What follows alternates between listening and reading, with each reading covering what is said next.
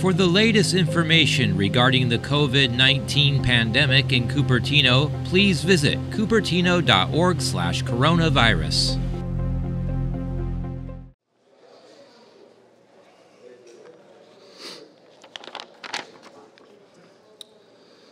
Good morning. My name is Jeremy Ron, and I am the Incident Management Team 2 Public Information Officer assigned to the LNU Lightning Complex. We will give you a brief update of, of the current situation for California. Nearly 12,000 firefighters are battling nearly two dozen major fires and complexes across California, uh, across California. Since the lightning siege that began Saturday, August 15th, there have been nearly 12,000 lightning strikes. During this time period, there have been more than 560 new wildfires, most of which may have been contained due to aggressive firefighting. Those fires have burned over 771,000 acres in total. Currently, 90%, or excuse me, 96% of CAL FIRE engines are committed throughout the state. Since January 1st, 2020, CAL FIRE has responded to over 5,600 wildfires. It's imperative to take steps to prevent, prevent sparking a wildfire. Make sure you have an evacuation plan, a supply kit, and important paperwork will make it easier when it comes time to go. Remember, one less spark means one less wildfire. For information regarding the LNU Lightning Complex, please make sure and call our 24-hour line of area code 706 967 4207. I'd like to ask if we could please hold any questions regarding the incident that we're here to discuss uh, until the end of the fire update. I would now like to invite our operations chief, Chief Waters up for an operational update. All right, good morning, everybody. Uh, Chris Waters, Operations Section Chief for the LNU Lightning Complex. I'm going to give you an orientation of the operational activities on the incident today. First of all, a little orientation. We're a two zone fire. We got a west zone and we got an east zone, and we have the Sonoma County line as the general demarcation between these two zones.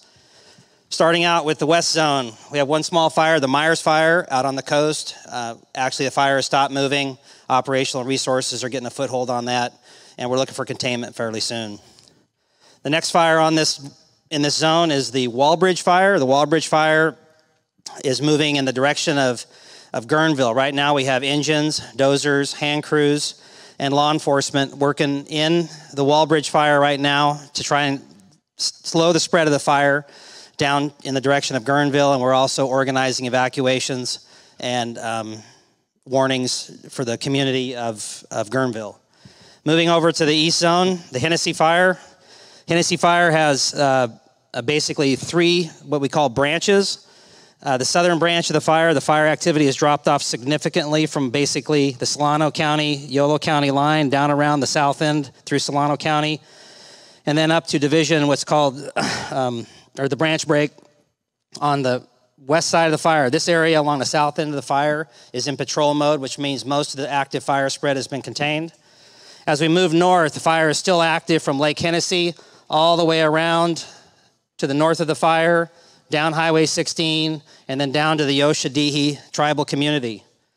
We have uh, dozers, engines, hand crews, and other resources continuing to work aggressively along the fire's edge up into Pope Valley and to try to prevent that fire from moving into Pope Valley, into those structures and those communities.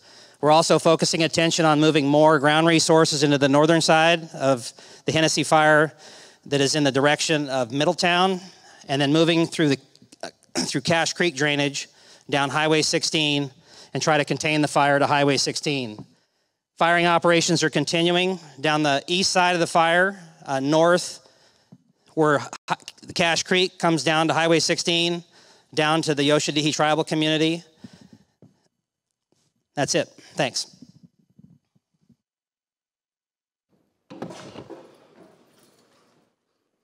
Thank you, Chief. I'd now like to bring up our law enforcement uh, partners for a quick update. Uh, Napa County Sheriff John Robertson, as well as uh, Son- Sonoma County Sheriff uh, Mark Essick. Thanks. Good morning. My name is Mark Essick. I'm the Sheriff of Sonoma County. With me today is Sheriff John Robertson from Napa County. I'm also here on behalf of the sheriffs from Lake County, Solano County, and Yolo County, and our CHP partners in the area. Here to give you a brief update on evacuations. We continue to work with our partners side by side, and that is CAL FIRE and other public safety agencies here working this incident. We are issuing evacuation orders and notices as appropriate through our partnership with CAL FIRE. Our job is to get the public out of harm's way. We want you to leave when you've been ordered to evacuate. Evacuation zones are dangerous. They contain many hazards for the public, and that's why we're asking you to leave those areas. Additionally, evacuation zones have active firefighting efforts going on, and you, you remaining in those areas could hamper firefighting efforts. So please, if you've been evacuated, stay out of that area. You will hear the high-low sirens as one of the ways that we notify you of evacuations. In addition to alerts that you may see on your phone or media alerts that you may receive, when deputies or peace officers are in your actual neighborhood trying to evacuate people, you will hear the high-low siren, and when you hear that siren, high-low means it's time to go. Peace officers in this area are currently being supplemented through our partners in law enforcement throughout the Bay Area and the region. We have asked for and received mutual aid. We have ample number of peace officers in the area to conduct the evacuations, to direct people to safety, and to patrol those evacuated areas to maintain safety and ensure that there is no theft or looting in those areas. We encourage you to continue to follow all of our agencies on social media, look for news updates, and please heed the warnings as they come out. We understand this is a stressful and scary time for many people. Your law enforcement partners are here for you to answer questions and direct you to safety. If you see a peace officer in your neighborhood, please do not hesitate to, to contact them, ask them for direction. They are there to help you. Thank you.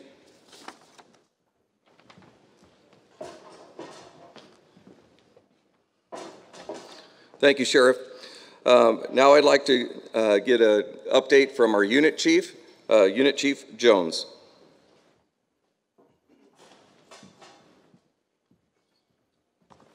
Good morning, and thank you for joining us. Since August 15th, as it was reported, we've burned 771,000 acres. That's greater than the state of Rhode Island. This, this incident alone is over 229,000 acres reported this morning. First responders have been stretched thin everywhere throughout the state, but they continue to work hard and they're getting little rest. We're trying to switch that by incoming resources are trickling in, and that's going to help this. The briefing today um, gave you some progress and some growth, but there's also, uh, we're not out of the woods. There's still some areas threatened, some communities threatened, some people's homes are threatened. Our partners spoke of evacs and plans to be prepared. Please be prepared to leave your home when asked to do so. You shouldn't wait to be told, you should have a plan right now. Pay attention to alert and warning systems that you have in your county, in your area. ReadyForWildfire.org is another place where you can get that information of how to be prepared. Please pay attention to your surroundings. Be alert, know your area, know how to get out. I know our communities and our first responders that are fighting these fires are tired, but they're doing it. They are doing it to protect their home, your families, their families, our communities. I appreciate all the work of our the cooperators. It's not just the folks on the front line, the first responders, those folks coming in from out of state, out of the area. It's everyone that's supporting the folks out in the field. Logistically, to take care of those folks, to feed them, to make sure that they're getting the right information, a proper briefing so that we all are on the same communication channel, it takes a lot of work. And all of those people you should be thankful for. They're doing it for you. So please do your part, help us, help you. listen to the evacuations, get ready to go when you need to. I hope for good news, but it's going to take a long time. We are not out of the woods, not by far. I want to thank you for your patience because as the smoke clears, you're going to want to get back in your homes. The size of this fire is huge, and for those of you that have lived in Sonoma, Lake, Napa, Yolo, Colusa, and Solano counties, you know that this area is very impacted by fire on a yearly basis. So please be patient with us. We're trying to do the best we can. We want you back in your home. Thank you very much. Please be safe.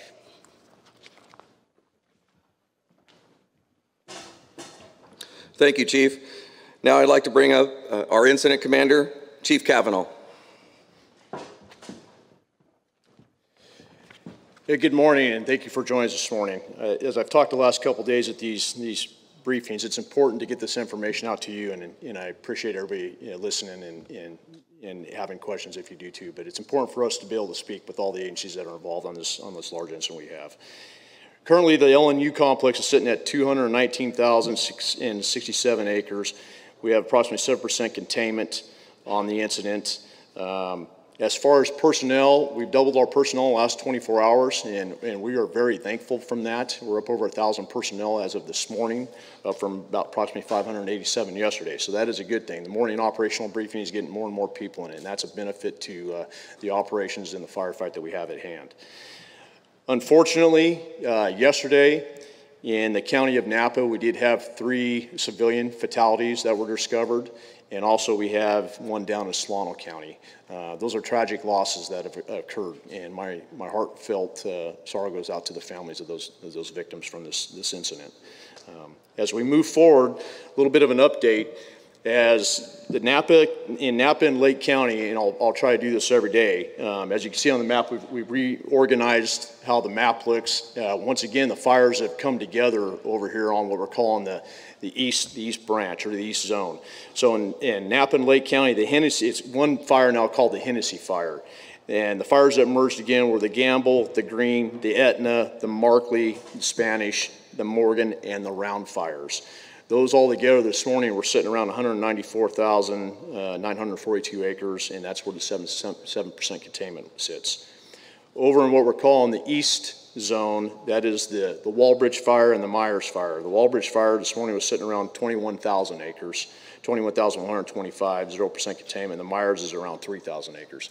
As you, as you heard from Chief Waters on their operational update, overnight uh, we had some marine influence, uh, a little bit more humidity recoveries and allowed for some good work to be done over you know, on, on all the incidents keep talking about evacuations. I stood up here yesterday and talked to the community about how we do evacuations, some of the reasons why. Um, also said it was very important and it's a priority when we evacuate to get people back into their homes. Well, we're starting that again today already. We do have some evacuation orders that are being lifted. Along with that, this is interesting though, we're also in the process of adding more evacuations, and that's something we normally don't do. We are spread out on such a large geographical area that we have different fire behavior, we have different levels of containment, um, and so we're, we're working that. But it is a priority. As soon as we're talking about evacuations, we're working up the repopulation plans. It's important. Same as I said yesterday, though, it takes a large cooperative effort to make that happen, not only from the fire side, the fire behavior, the weather, all the resource utilities, everybody to get people back in their homes. But I promise you, it is a top priority for us to do that. With that, please adhere to any additional new evacuation orders that we have. It is imperative that you get take to those orders um, as we keep pushing the message. You don't have to, just because of an order, if you feel like you're in danger, please, please leave your, your property and uh, for your life safety as you move forward. It's a large incident. We're starting to get the resources. It's a good thing. Um, it's difficult. It's difficult on the communities. It's difficult on the, the people that are involved here. Um, it's difficult what's going on throughout the entire Northern California right now. But I appreciate everybody's cooperation. You know, we have to do this. The only way we get through this is the cooperation of everybody involved in those communications. I'm going to keep preaching that cooperation and communication. Thank you very much.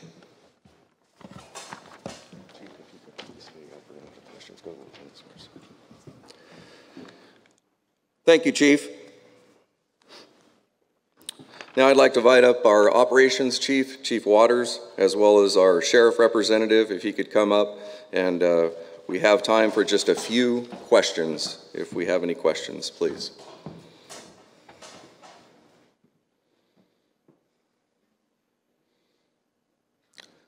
Okay, seeing no questions, uh, we appreciate that. At this time, I'd like to uh, invite up Officer Lopez for a brief message to our Spanish-speaking viewers.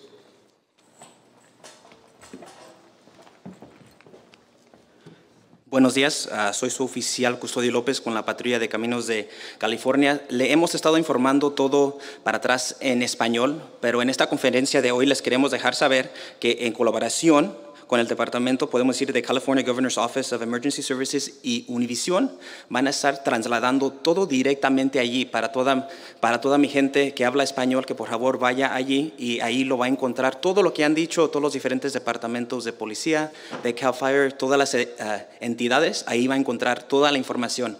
Si hay otras entidades que no pueden llegar allí, vamos a estar aquí disponible, aquí um, afuera. So, si tienen preguntas, lo podemos hacer en español. Muchísimas gracias.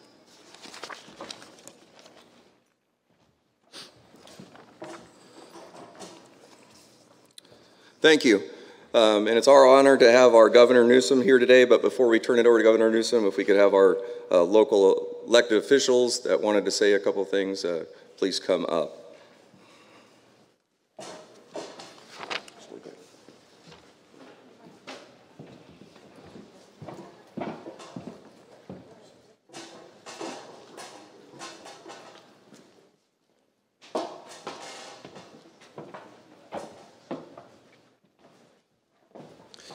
I'm Congressman Mike Thompson, and I represent the area that's been impacted by the fire. I want to thank uh, all of the fire and law enforcement personnel for the great work that they're doing. It's very much appreciated. And I want to thank Governor Newsom for taking time to come out to our area uh, to see firsthand uh, what this means to our community and for all the help that you've provided so far. Uh, from Congress, please know that we've already uh, have the federal government has already provided the fire mitigation mitigation grants uh, to the state and local government. Uh, I have legislation that is ready to be dropped if it is declared a natural disaster to move the share of costs down to the locals from 25 uh, to 10 percent. And Governor Newsom, uh, be happy to tell you that we have a letter going out today with 30 signatures, bipartisan signatures, supporting your request uh, for uh, individual and public assistance. So the federal government is here to do everything that we possibly can. Again, thank you to everyone for the great job that you're doing.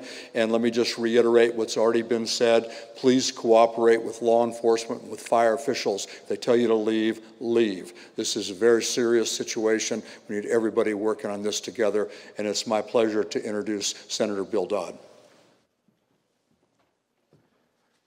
Thank you very much, Congressman. Uh, not a lot to add. I really want to thank the governor for being here today.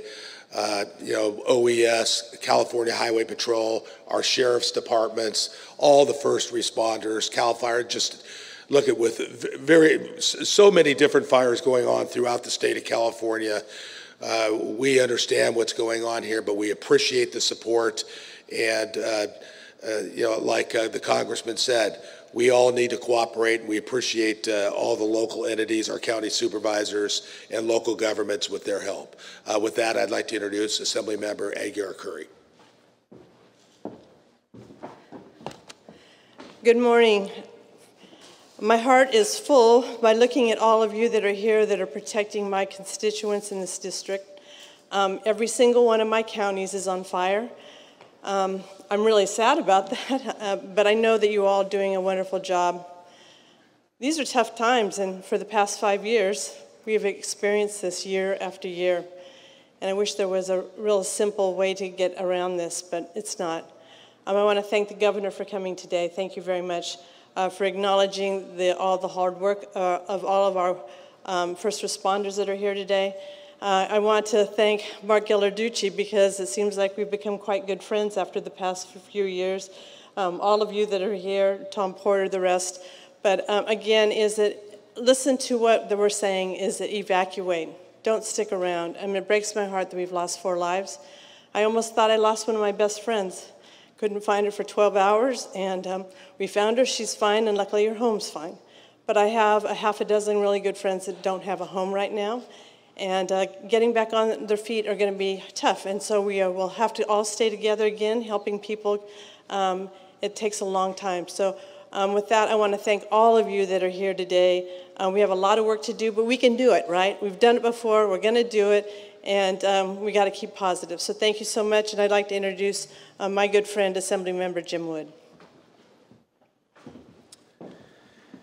Thank you uh, very much to everyone who's here. Uh, I think everybody's heard the same message. Please heed law enforcement warnings. Um, just another warning that just an evacuation warning went out, not a, not a warning, but a mandatory evacuation for the communities of Forestville and the Lake Sonoma area. Please heed that. These, these fires in Sonoma County, I represent the west zone here of, this, of the LNU complex. These fires are burning in areas that have not burned in decades. The fuel load is extremely high, the conditions are very dry, and the winds will continue to pick up throughout the day. Uh, we've seen this over and over and over again. If you think you're in danger, um, or you, you, even if you're not, don't think you're in danger and you see a lot of smoke, you might want to consider moving to a safer place. I want to thank CAL FIRE for, and everybody who's been working on the lines. Many of these firefighters have been on the lines for 72 hours. And uh, everybody's uh, running on fumes and everybody's a little ragged. And so if there's a shortage of patience out there, please understand that these folks are working, all our first responders are working to the ragged edge of everything they have, and I can't thank them enough. Thank you.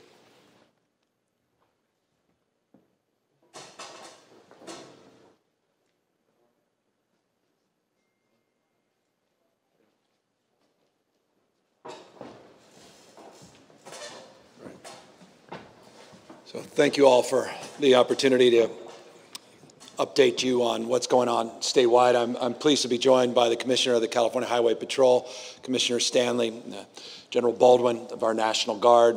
Pleased to be here uh, with the head of our Office of Emergency Services, uh, Mark Ghilarducci, and of course, someone very familiar to many of you, particularly all of you assembled here with CAL FIRE, uh, Thom Porter, Chief of CAL FIRE.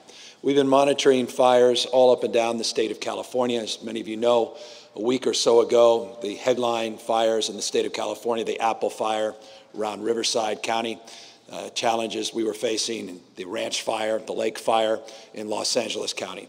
Uh, we have substantially made progress on the Apple Fire, 95% contained. As a consequence, we've been able to pull resources from Southern California here to the north. We've made progress on the Lake Fire, about 50% contained as of this morning, 39% contained uh, at the ranch fire. So the fire concentration, the challenge that we're facing here in the state is now disproportionately impacting Northern California. And that is because of close to 12,000 lightning strikes that we experienced over a 72 hour period. Uh, just a day ago, I announced that we are struggling to address uh, the needs of suppressing some 376 fires in this state. That number has grown to about 560 fires in the state of California. You had a lot of sleeper fires. Uh, this we anticipated as the smoke cleared, as our reconnaissance efforts increased, as we compared and contrast uh, the federal efforts with the local and state efforts. Uh, that new number represents 560 active fires that we are addressing, trying to suppress here in California. The larger fires, the LNU fire that we briefed you here this morning, uh, this fire complex, what we refer to as lightning complex, is one of many lightning complex fires that we are addressing here in Northern California. I was down yesterday in Watsonville and Santa Clara, around Monterey County, uh, visiting evacuation sites and centers in around the fires down there, the CZU complex and the SCU complex. The SCU complex in Santa Clara right now is about 10% contained, uh, while we're dealing with about 219,000 acres here uh, in this complex, the LNU. That complex is about 229,000 acres. Uh, the reason I mark these two in points of contrast, 7% contained here, 10% contained down there, is these two fires represent two of the top 20 fires, largest fires the state of California has had to battle uh, in recent memory, arguably in modern recorded history. There's been 20 epic wildfires in the state of California. Uh, this complex represents the 10th largest. Uh, the complex at SCU represents the seventh largest uh, that the state has ever had to battle. Uh, these fires, again, are stretching our resources, stressing our personnel. We have over 12,000 firefighters now actively working to suppress these larger complex fires. The larger cohort of fires represents about 20 to 25 fires. So we talk in terms of the totality, 560 fires. A lot of those are smaller fires, more remote. The larger fires, the larger complexes that we're battling represents uh, roughly two dozen uh, fires that have required incident commands like the one we have assembled here today, all up and down primarily the northern part of the state. Uh, we're making progress on the Butte fire complex, uh, lightning complex up north, uh, making some progress on that Jones fire, which generated a lot of concern, consternation because the evacuations are around Nevada City uh, and Grass Valley. Progress being made there. Uh, we were pleased uh, by the extraordinary work the Red Cross and others have done uh, to quite literally overnight get up these uh, evacuation sites. Uh, their protocols, processes, and procedures are second none in this country. Uh, as was stated uh, by a number of people already, uh, these are familiar challenges for all of us here in the state of California. The individuals assembled in this room today are quite familiar with one another on an individual basis and certainly on an institutional basis because we've been at this in 2014 up in Lake County, 2015, not just in Lake, but throughout Northern California, 2017, 2019, uh, last year, uh, struggling with some of the largest fires uh, we have had to experience Kincade, uh, more recent memory, more indelible uh, to folks up here in this region. And so as a consequence of that, we've developed stronger protocols, processes. We've, discovered, we've developed stronger collaborative uh, tissue in terms of the work that's being done across the spectrum. The volunteers familiar with other volunteers. Uh, and I just want to express deep gratitude, not only, and I will in a moment substantively, to all our frontline uh, firefighters, but to all the volunteers that assembled to help uh, seniors at 1 a.m. Uh, down there in Vacaville uh, that had to evacuate a senior facility and accommodate their needs at 1 in the morning, particularly in this COVID environment where we're cohorting individuals, we're testing individuals, we're making sure people are healthy when they're in the evacuation site. I want to thank all of those extraordinary volunteers down at Santa Clara at the fairgrounds uh, that had to evacuate a site with dozens and dozens of people with intellectual disabilities uh, that needed all the imaginable support uh, that came out uh, in historic numbers to help support uh, those individuals and continue to support uh, livestock, uh, horses, and uh, pets. of every imaginable size and degree, again, trying to address this unprecedented moment in our state's history. these lightning strikes came exact week that we were experiencing some of the hottest temperatures ever recorded in human history. 130 degree temperatures in southern part of the state of California. Um, arguably, still an open question, maybe the hottest modern recorded temperature in the history of the world.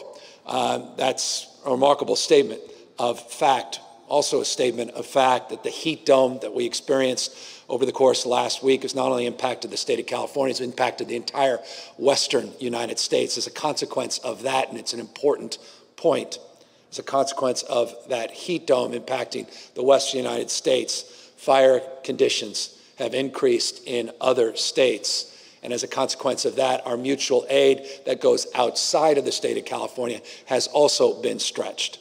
But that mutual aid system, nonetheless, uh, has been activated. We now are engaged formally with mutual aid from 10 different states. Uh, we've been on the phone with governors all throughout the United States, not just the western states, uh, trying to reach out as far as the East Coast to see if we can get uh, resources here into the state of California, address the stress that we placed on the 12,000 plus firefighters that are on the lines as we speak, uh, trying to suppress these wildfires all up and down the state of California. Let me, because it's important to do, let me thank again uh, Governor Ducey uh, of Arizona for the 10 engines they sent. Let me thank Governor Brown of uh, Oregon for sending 25 engines. Let me thank Governor Inslee of Washington State and just sending down uh, some surveillance equipment, including RC-26 uh, surveillance fixed-wing plane and providing us some technical assistance in terms of analytics, uh, not just engines. Let me uh, thank Governor Abbott of Texas uh, for his support and Governor Sisolak uh, as well. Again, those st states are also dealing with their own domestic challenges within their states related to the heat wave, uh, and yet they're still offering support. Idaho, Utah, Montana, all providing support. Again, 10 states formally and an EMAC system, uh, and we have requests out across the United States. Progress being made in that space.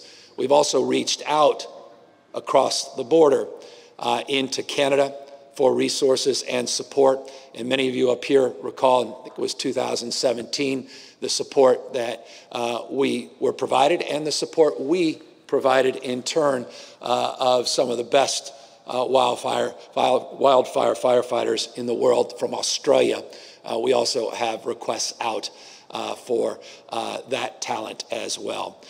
so I just want to express gratitude uh, for that broader mutual aid system, this EMAC system that's in place, the mutual aid that exists and persists uh, at the local level, uh, the regional level, and the state level, to our county sheriffs that have done extraordinary job, the California Highway Patrol uh, that's helping with logistics on a regional basis. Let me thank all of our incredible firefighters. I was down there in Santa Clara yesterday meeting with some San Jose firefighters that look completely wiped, saying we need more support uh, they were simply overwhelmed by what they saw.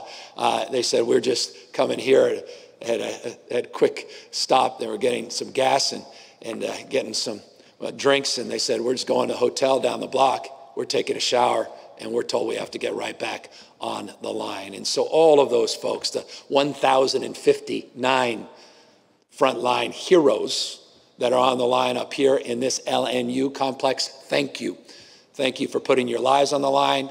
And also, thank you, and it's not lost on any of us, thank you for also uh, doing this and compartmentalizing the lives of your loved ones that are also on the line. This is your community, this is your home.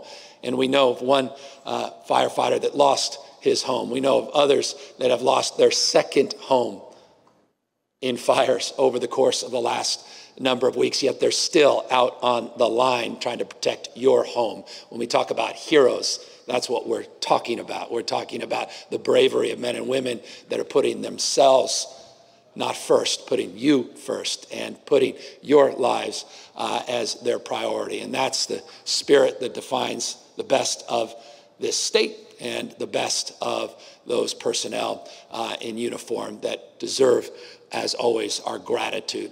At this moment, uh, we continue to be vigilant in terms of our efforts, including some of our air support. Uh, we've been able to contract uh, with through an emergency declaration uh, with private contractors for air support, uh, as well as secure more federal support. I want to thank the Trump administration. I want to thank Bob Fenton in particular, who is here, who is the Western Regional Coordinator for FEMA.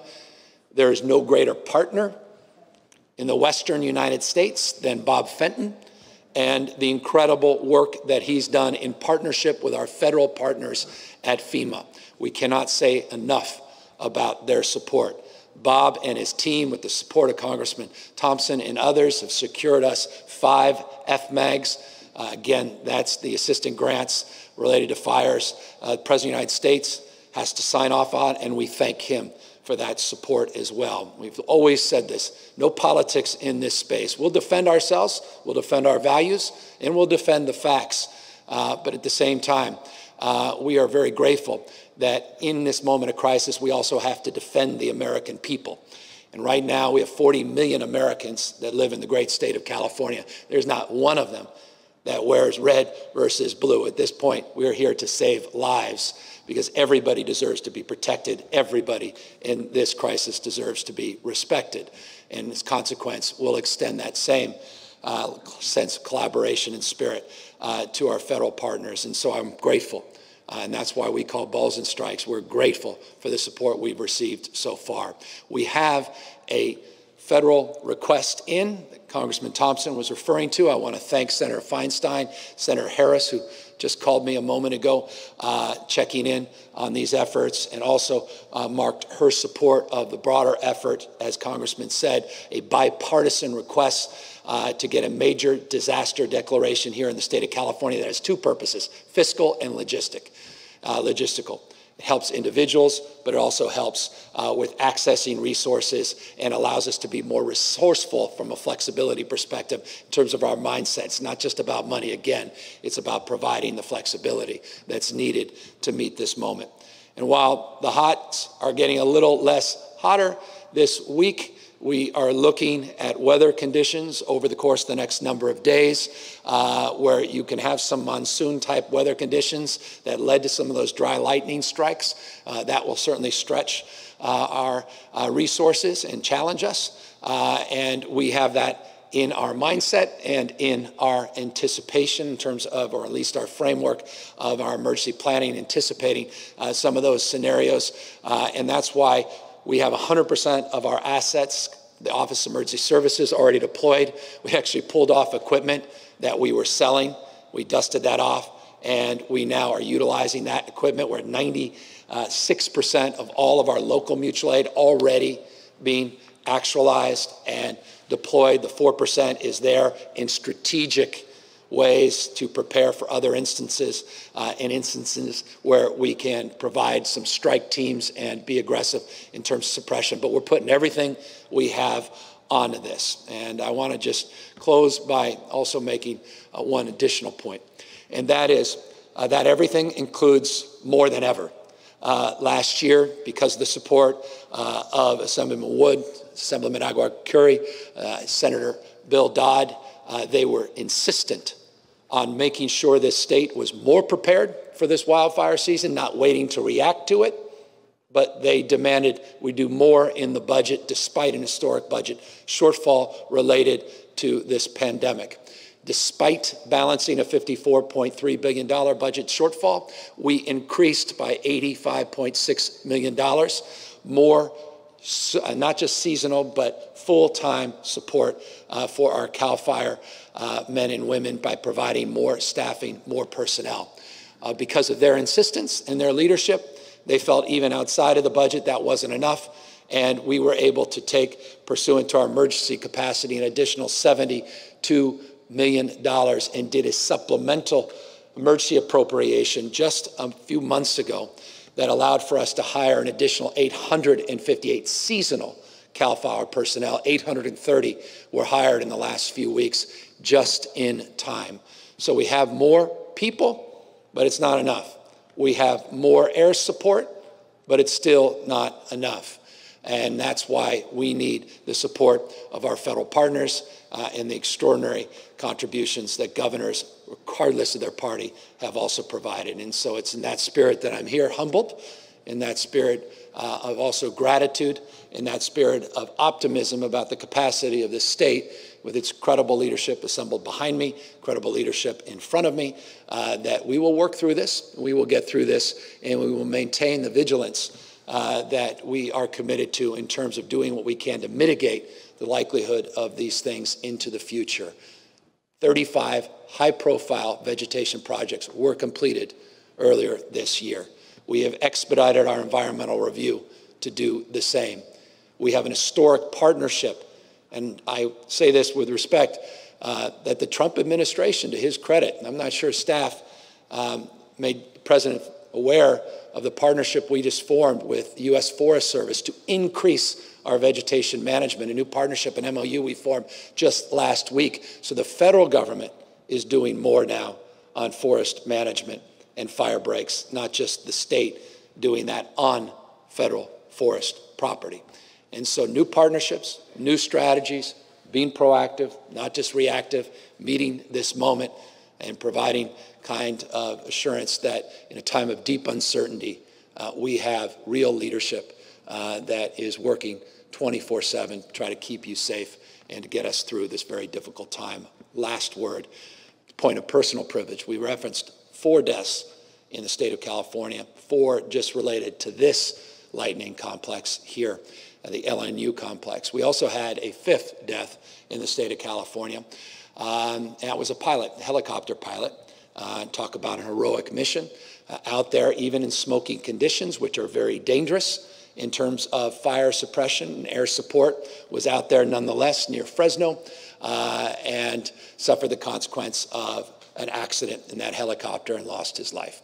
And so, uh, as was stated by Assemblyman Aguiar-Curry, our hearts go out to all five individuals and their families, uh, and we are not naive by any stretch how deadly uh, this moment is and why it is essential, as the message has been amply re- referenced over and over. I'll extend it one more time that you heed the emergency notices and the evacuation orders, you take them seriously. 119,000 people so far have, because 771,000 acres has already been burned in the state of California, the equivalent to the size of the state of Rhode Island.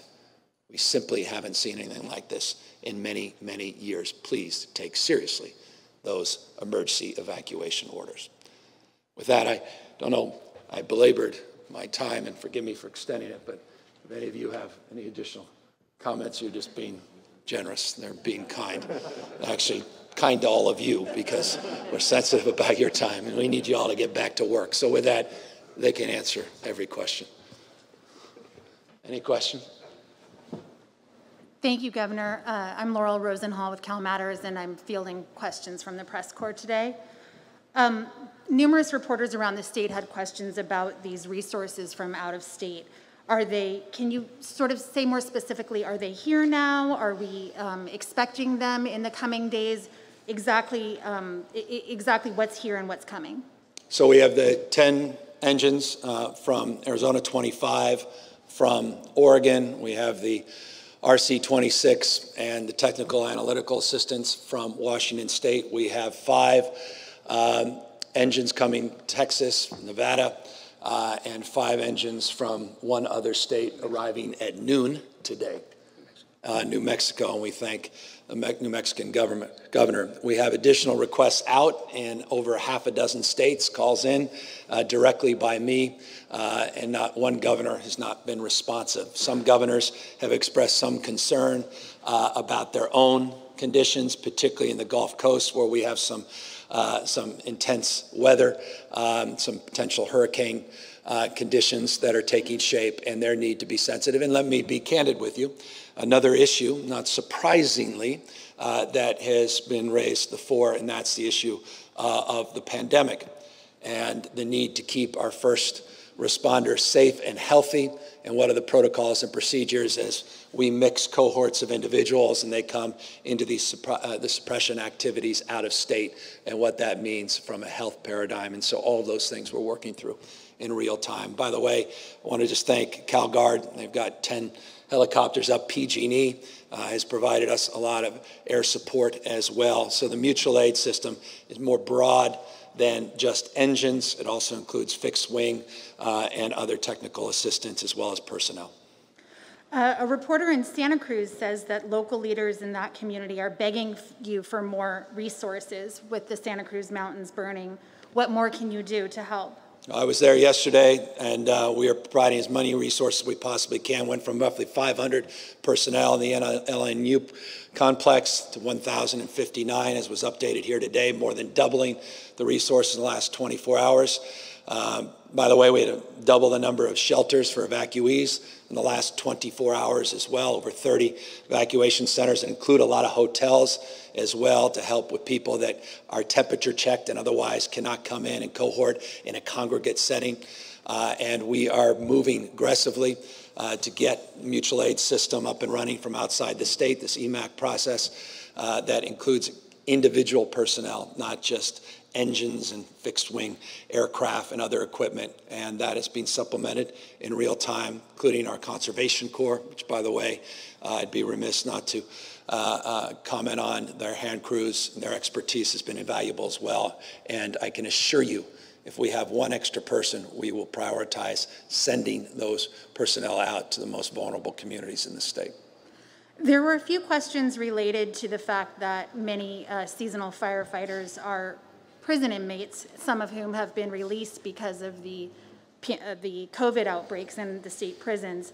Um, have, have you backfilled those positions with seasonal firefighters? Are they now operational, or is California short on hand crews because of early release of inmate firefighters? That's exactly why, and many of you know, I think you may have individually even reported the work we did as a state, press conference we held a number of weeks ago in McClellan, McClellan Air Force Base, where we announced the supplemental of over $72 million precisely to address that issue, precisely to address that concern. We did it in anticipation. We didn't react.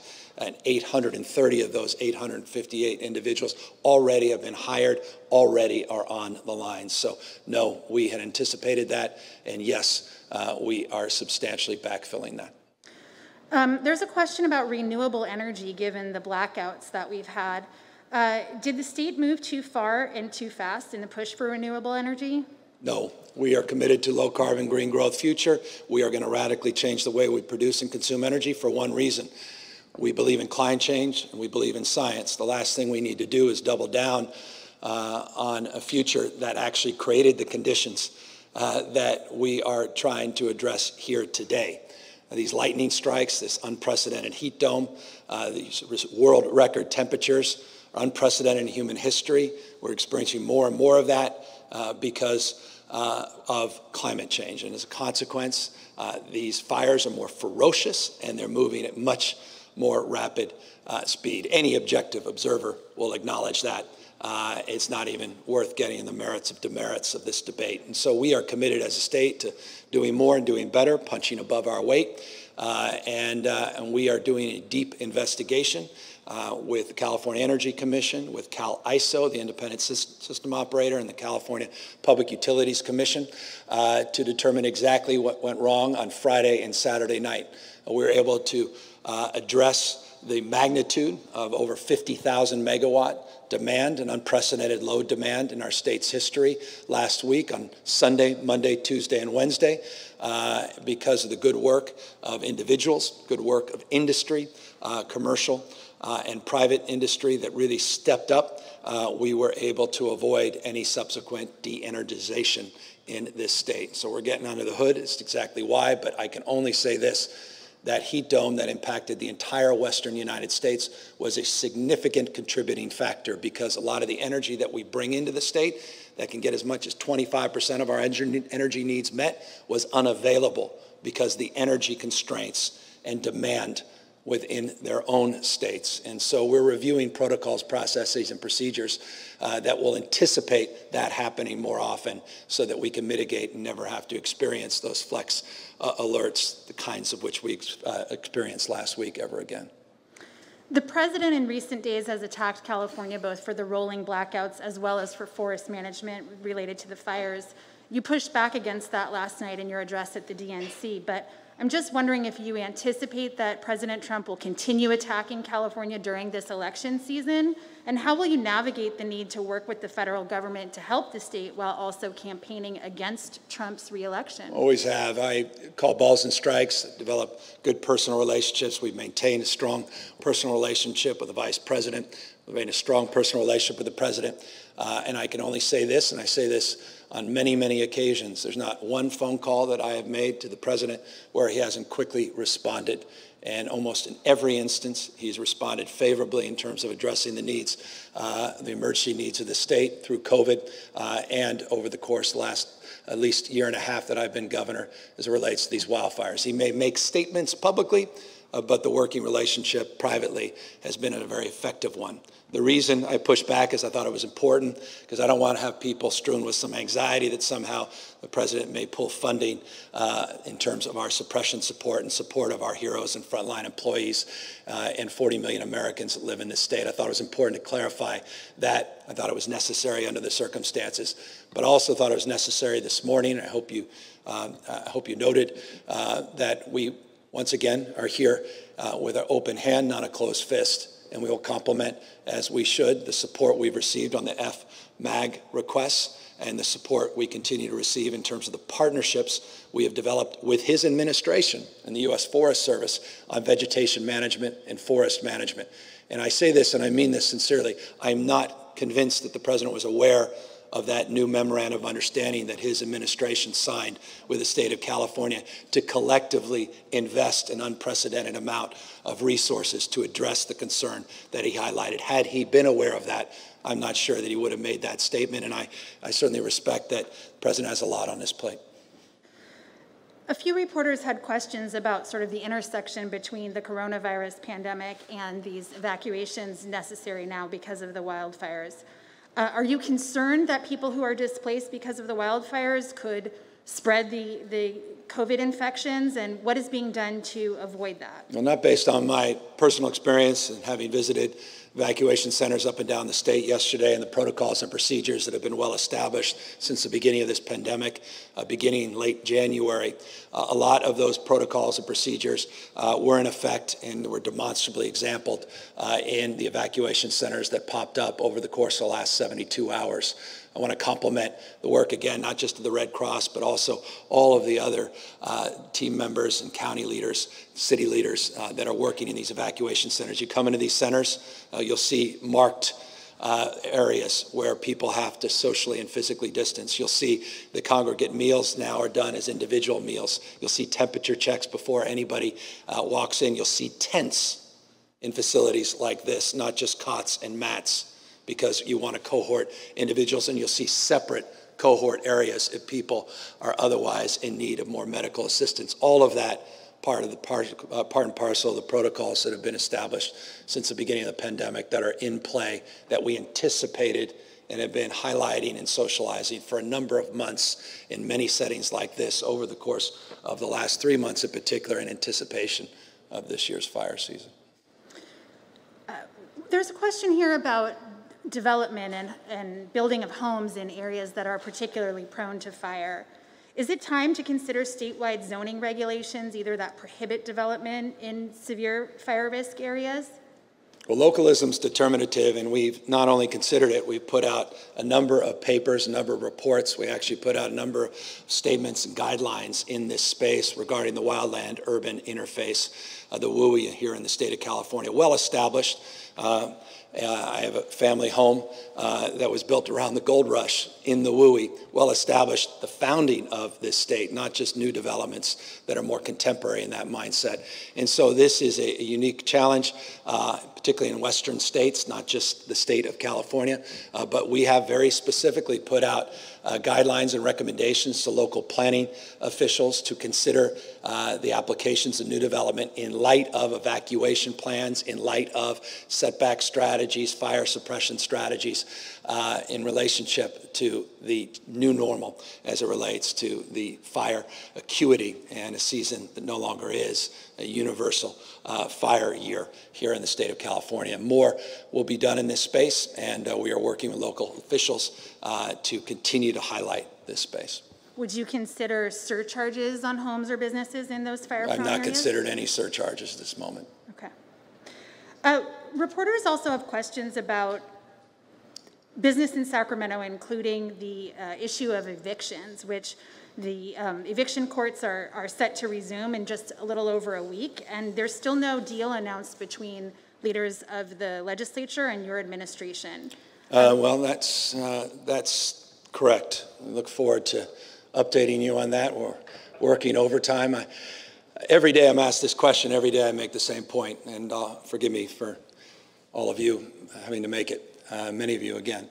Um, the Judicial Council, to their credit, extended their moratorium on evictions to the end of this month. There was a request made by members of the legislature, request directly made uh, by our administration, directly uh, by me to the Chief Justice. Couldn't be more grateful to the Chief Justice and the Judicial Council that afforded us that privilege of time uh, that coincides with the end of the legislative session.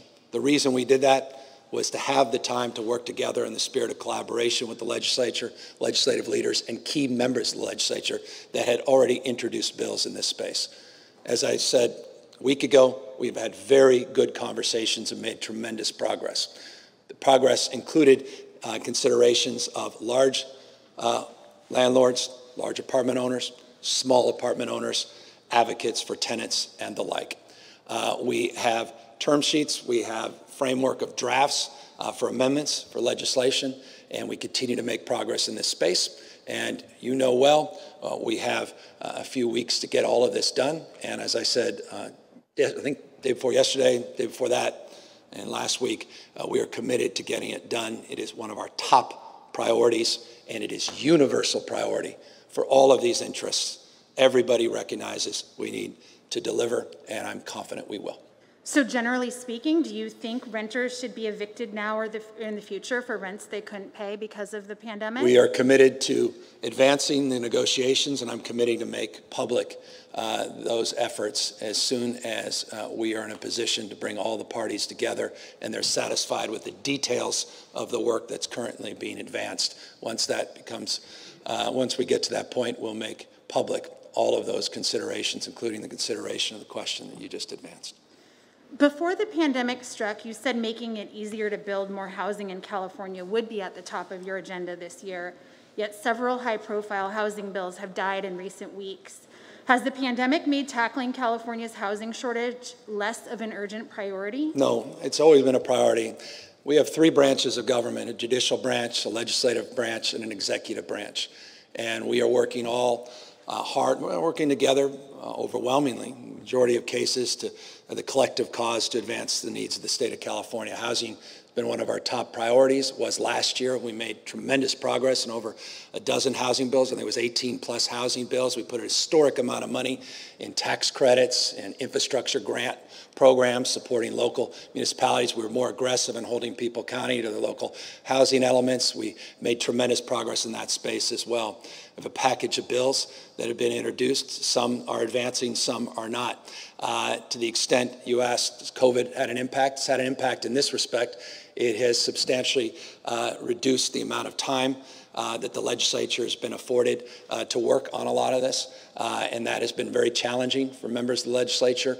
Uh, and as a consequence, a lot of those bills and the whole bill package across the spectrum of issues, not just housing, has been impacted. So the answer is yes in that respect, but no in this respect. We are committed to the cause of fast tracking the development of housing in the state of California and holding government accountable to meeting their goals and the collective expectation in this state to reduce housing costs. Uh, and to the extent a few bills are running short, uh, that's this legislative season.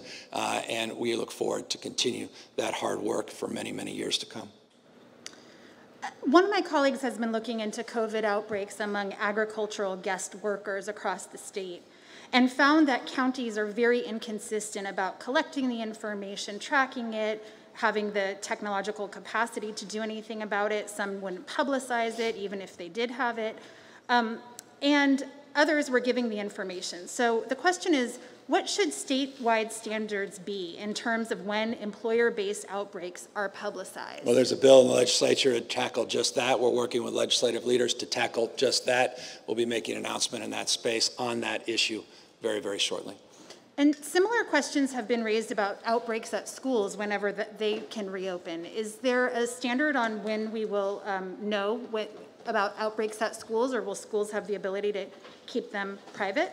Well, I expect transparency, full transparency. We put out guidelines, covid19.ca.gov, covid19.ca.gov. I encourage anyone watching that is interested in looking at the guidelines we put out uh, and for public education to go on that site. You'll look at the protocols, processes that we have put forth and expectations we've set forth for over a thousand districts in this state as it relates to monitoring, as it relates to opening, and as it relates to the prospect of an outbreak and the prospect of closing uh, a school. We talked about the partnerships with contact tracers and local health officers working with the school districts in this space. We talked about our expectations on testing uh, and cohorting staff as well as cohorting our students, expectations on mask wearing, as well as physical distancing, uh, the differentiation between elementary schools and cohorts of older kids. All of that available, uh, and all of that sets forth the tone and expectation uh, that we have and the transparency that we think is foundational in this effort to get our kids back in school, which is our default position. But safety is our foundational principle. The last question comes from a reporter in Orange County who says Orange County is getting closer to moving off the watch list, but there are questions over which data is guiding that decision. Is it state data or county level data? And the reporter cites some inconsistencies between those two data sets. Um, how are state officials going to handle this, and will it affect Orange County potentially coming off the watch list tomorrow? We handle it the way we've always handled it. We work with local health officials. We reconcile any of the discrepancies. We've done that consistently since the beginning of this pandemic. We did that, for example, very recently in contemporary sense in San Diego County. We're continuing to work very collaboratively with local health officers in Orange County, and we look forward to making an announcement updating that monitoring list. Let me just briefly, and everybody, you should all get out of here because this is way off topic for the 50 people that are behind this camera, uh, and I feel for you. Uh, but let me just quickly update you. We had 5,858 uh, new positive cases here in the state of California. We tested about 101,000 people yesterday. Our positivity rate is now at 6.5% over a 14-day period, 6.4% of a seven-day period. Our hospitalizations trending down again today. We are announcing a 2.4% decline in hospitalizations, 1.5% decline in ICU admissions. So continuing to see good progress. I announced Placer County and San Diego counties are off the monitoring list uh, in my press conference 48 hours ago. I look forward to announcing in our next uh, press conference, update on where San Francisco County is, and we're very hopeful to see the progress they're making in Orange County, and hopefully Orange County will also be added to that list. With that, thank you all for, for working through all of that, and God bless, and more importantly, stay safe uh, and take seriously these evacuation orders. And thank you again to the incredible leadership of each and every firefighter in the state of California. Thank you. For the latest information regarding the COVID 19 pandemic in Cupertino, please visit cupertino.org slash coronavirus.